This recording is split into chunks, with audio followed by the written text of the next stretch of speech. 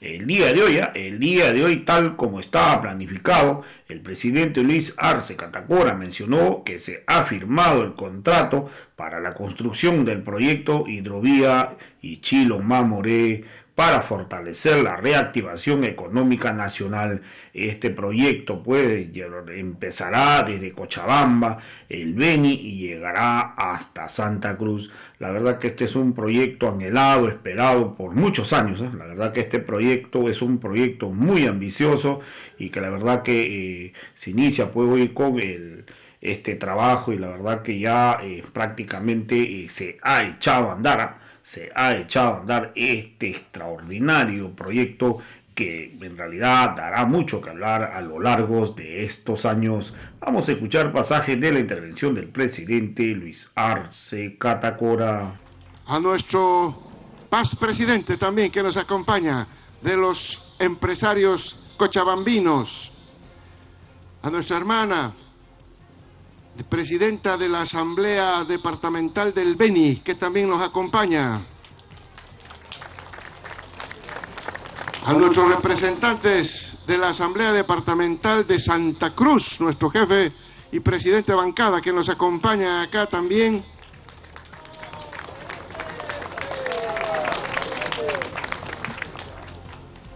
Al, al señor Elmer Pozo, gerente general de SAPSA, al representante, al señor Florentino Fernández, representante de la Corporación Andina de Fomento, que nos acompaña en esta oportunidad. A nuestro director ejecutivo del Servicio de Mejoramiento de Navegación Amazónica Semena, al capitán Vladimir Riveros. Al hermano Sebastián Capo, gerente general de la empresa estratégica boliviana de construcción y Conservación de Infraestructura Civil, la EBC, que acaba de firmar el convenio de construcción. A los trabajadores de la EBC que están aquí firmes, listos para empezar a trabajar. Al comandante del área naval de Cochabamba, al capitán de navío Simar Vidés, jurado. Un saludo especial, por supuesto, a la juventud del trópico. ¿Dónde está la juventud?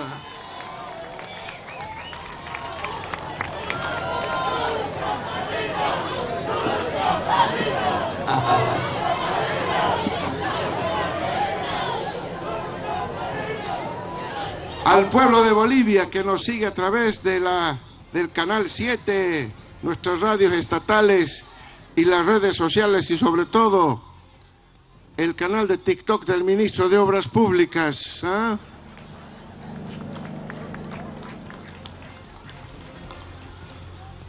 Muy contentos, hermanas, hermanos, de estar aquí en Puerto Villarruel una vez más. El año 2019, a principios del año 2019, veníamos acá como ministro de Economía y con el, el entonces alcalde de Puerto Villarruel diseñábamos ya esto que es ya una realidad, como decía nuestro ministro de Obras Públicas. Queremos interconectar dos ciudades importantísimas de nuestro país. Puerto Villarruel, el municipio de Puerto Villarruel, con el municipio de Guayaramerín en el Beni.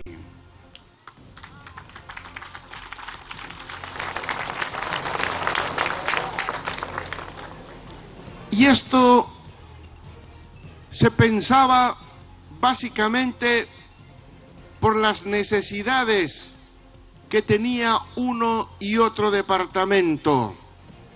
Por supuesto, esta hidrovía va a beneficiar también a Santa Cruz.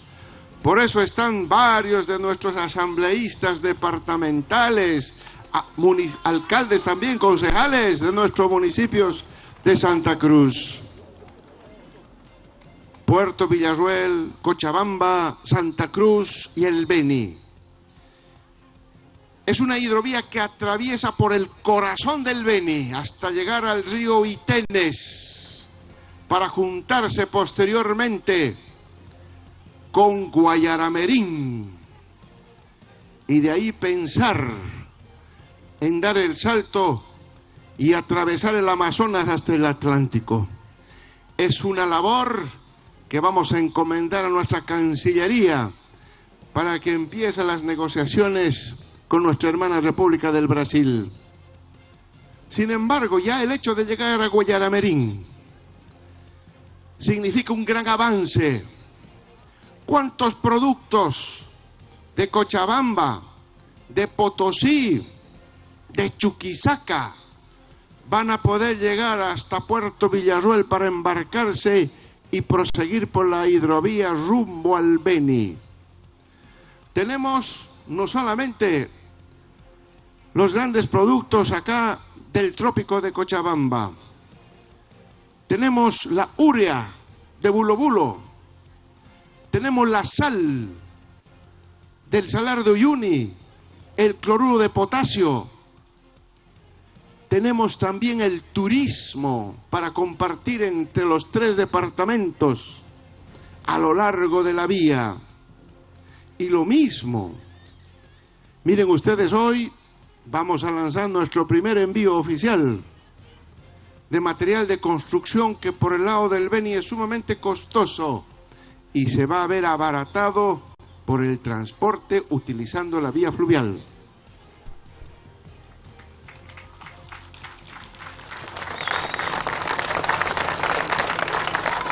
También, hermanas, hermanos, la ganadería del Beni, los productos de la Amazonía de nuestro Beni querido, va a poder llegar también a Santa Cruz, a Cochabamba y por ende a todo el occidente del país de una manera menos costosa. Ahí radica la concepción que hicimos hace muchísimos años atrás, pensando, y ahora más que nunca, cuando nos han dejado, gracias a ese golpe de Estado que hemos experimentado en noviembre de 2019, sin recursos, la imaginación, el pensamiento, la inteligencia debe vencer a la falta de recursos. Y aquí tenemos una de las mejores vías que abarata los costos, que facilite el transporte y el turismo entre tres departamentos hermanos que lanzamos hoy desde Puerto Villarroel, Cochabamba.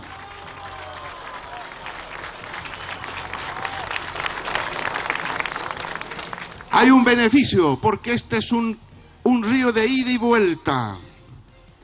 Son dos, es como tener una carretera de dos vías.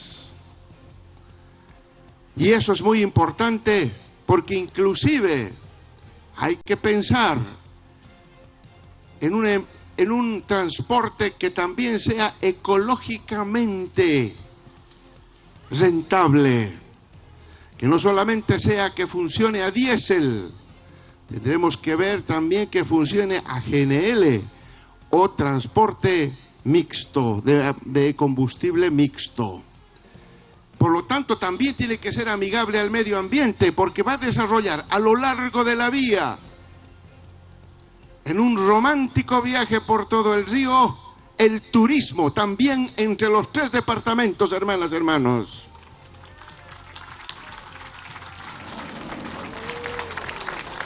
Por eso es que estamos muy contentos. Son 1.200 kilómetros que vamos a recorrer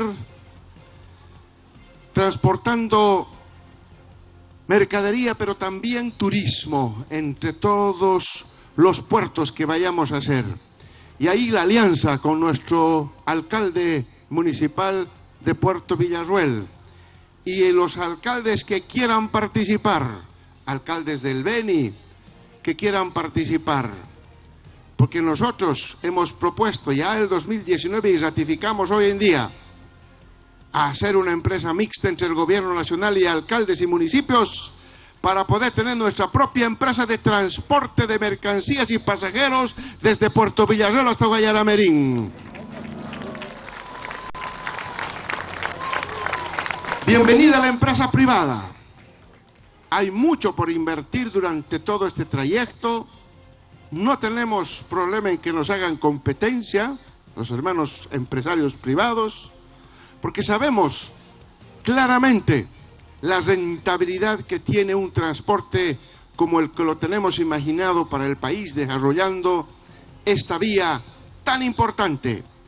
Y no solamente es esta vía, hermanas, hermanos. Bolivia ha sido un país que no ha aprovechado sus ríos, no solamente para el transporte, la generación de energía eléctrica, también hemos pedido a nuestro ministro de Energías que vaya pensando en pequeñas turbinas flotantes que generen electricidad a lo largo del río. Hemos también pensado en que estos ríos no solamente va a ser el río Mamoré, el río Ichilo, sino también nuestro río Beni, el río Madre de Dios, tantos ríos que no hemos utilizado y que ahora a través de nuestro Semena que vamos a potenciar con dragas que tenemos que comprar a través de nuestro ministro de Obras Públicas, tener nuestras dragas, utilizar nuestros ríos como debe ser, como otros países lo han hecho, hermanos.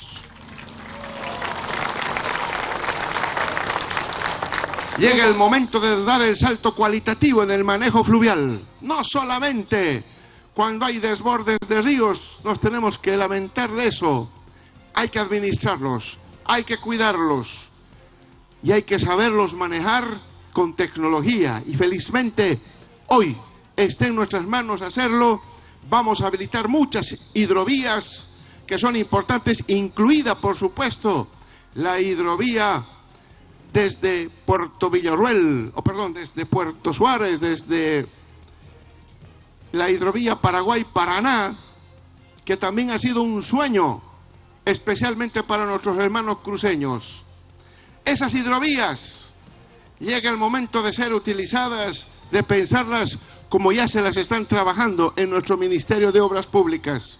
Y ahí debemos saludar el aporte que está haciendo la Corporación Andina de Fomento al financiar varios estudios técnicos que necesitamos para invertir los recursos que sean necesarios para dejar una hidrovía expedita y navegable durante los 365 días del año como corresponde para el pueblo boliviano. Por eso estamos contentos, hermanas, hermanos, aquí en Puerto Villarruel.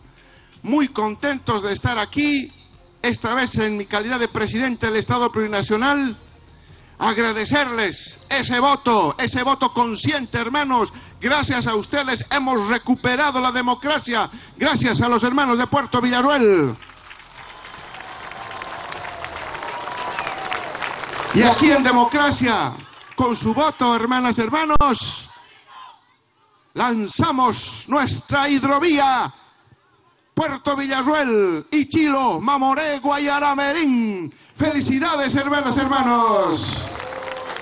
¡Que viva Puerto Villarruel! ¡Que viva Cochabamba! ¡Que viva el Beni! ¡Que viva Santa Cruz! ¡Que viva Guayaramerín que nos espera! ¡Que viva nuestro Estado plurinacional de Bolivia! Muchísimas Estamos en el acto de reactivación de la hidrovía Ichilo-Mamoré. En unos minutos más zarpará una embarcación al norte del país con 60 toneladas de material de construcción zumbo al departamento del Beni. Llegará a Guayaramerín en aproximadamente 10 días. Es la primera carga que envía la Federación de Empresarios Privados de Cochabamba. Tango Lima 06, el cual lleva 60 toneladas de cemento rumbo al noreste de Bolivia. Ha finalizado el acto protocolar en Testera. Inmediatamente se dirigen a las orillas del río Ichilo para observar la demostración de, de, aeronáutica, de náutica a cargo del equipo de tareas conjuntas de la Armada y posteriormente iniciar el zarpe de una embarcación zumbo al departamento de Beni. Hay una gran cantidad de personas que se han dado cita hasta el municipio de Puerto, de Puerto Villarruela y autoridades de organizaciones, de organizaciones sociales, autoridades sindicales, autoridades cívicas, pero principalmente han llegado hasta el municipio organizaciones como la Cámara de Comercio, ha llegado la Cámara de Transporte, ha estado presente también autoridades de Santa Cruz y de Beni, porque esta es una importante actividad que va a llevar desarrollo a tres departamentos, Santa Cruz, Cochabamba y Beni. Es la hidrovía Ichilo Mamoré, polo de desarrollo del Estado boliviano. El primer dignatario, acompañado de diferentes autoridades, se dirige precisamente a las orillas del río Ichilo para continuar con este acto de reactivación de la hidrovía. La ruta fluvial de la hidrovía Ichilo-Mamoré inicia en Puerto Villarruel, en el departamento de Cochabamba. Pasa por Puerto Almacén, cerca de Trinidad, continúa por Puerto Siles, entre Yacuma y Mamoré, llegando hasta Puerto Sucre, en el municipio de Guayaramerí, frontera con el Brasil. Con una distancia de 1.400 kilómetros, constituye una alternativa de salida al Océano Atlántico, por lo que productos nacionales tendrán otra vía de salida al mundo. Beni podría convertirse en un departamento agropecuario y turístico con estratégica vinculación fluvial a mercados externos e internos. Vemos la talla correspondiente este día de reactivación de la hidrovía Ichilo-Mamoré, acompañado el primer dignatario por el ministro de Obras Públicas, el ministro de Defensa, está el alcalde de Puerto Villarruel y también